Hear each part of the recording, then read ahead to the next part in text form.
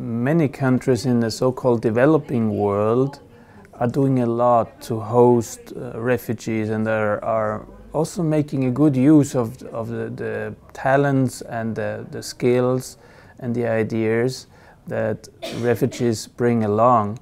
Uh, 80 to 90 percent of the world's displaced live in the developing world. Europe, as a very rich region, uh, could engage more and should engage more to support the countries of origin of refugees and migrants. Europe can do more in the countries of transit. Uh, and yes, Europe could benefit more from refugees that are already in the different countries and giving them the opportunities to fully integrate.